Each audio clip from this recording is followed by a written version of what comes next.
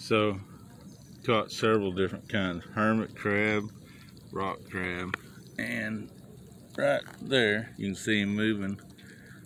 Little baby blue crab. They're going back into the water.